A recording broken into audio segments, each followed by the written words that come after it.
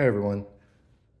So I'm working up the final stages of the turbo on the 1025R. And one of the things that you've got to do is get the oil flow right to the turbo. And what I've got here is just a brass fitting. And it so happens that I'm using this 1 8 inch pipe thread uh, fittings in order to feed the, the turbo and then it'll drain out from a, a, different side, which, which ultimately is larger. But one of the things I need to do is restrict the oil flow that goes to the turbo. And, and you can do, they, they make restrictors uh, that you can buy, but depending on the plumbing you're using, uh, it may not be as easy to find. You may have to find different versions of it. So what I'm doing is making my own. And when I get when I get it nailed down, then I'll look for an off-the-shelf fitting. I won't be making these. If I don't have an off-the-shelf fitting that is perfect for the 1025 or other models, then uh, ultimately I'll have it made. So let me take you through uh, what I'm doing here. Now this is just, this is brass and to find something 1 8 that is like this, you can get steel uh, and, and I could weld it up, but it's a lot easier just to go to the hardware store and get these in brass. And since we're talking oil pressure, brass is fine.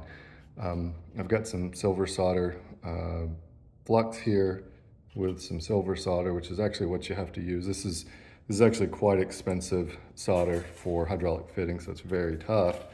And so um, all I'm gonna do is, is add some flux here so that we can get some cleaning and some adhesion. I'm actually gonna pull it off the threads here. But, and then light up my torch. when you're soldering, let's see if I can get a good, a nice neutral flame, which is, this as you can see here, this is called the feather. So if you want an oxidizing flame, comes down to here. If you want a reducing flame, it gets out to here. But neutral,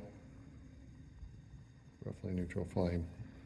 And all we're gonna do is heat this up, move my flux here, and see, I haven't done this before, we'll see if we can just uh, close this hole up and then I'll drill a hole in it using a, a, very small drill bit. So when you're doing soldering like this, you put the flux on here, it'll look like it dries up, almost like it's powdery. And then right after that, you'll know it's hot enough when it starts to, to wet itself back out. Let's see if I can get this to cooperate. And flux or solder will, not solder, this is brazing, silver solder, but I consider it brazing because it's hot enough. So that's it. Turn off my flame here and don't grab that without a glove.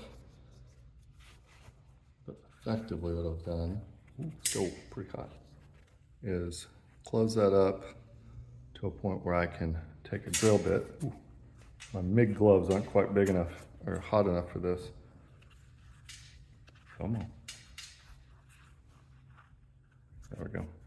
I'll take a bit like this. This is a number uh, 74, which is about 0.6 millimeters. Right now I'm running a one millimeter.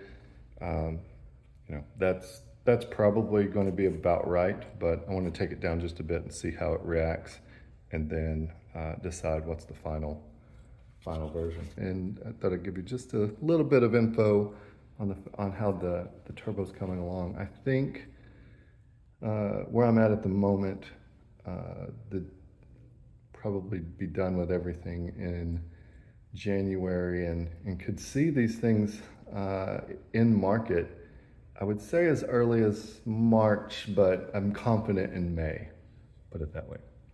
So, hope you're as excited as I am. Thanks for watching. Questions, comments, leave them below.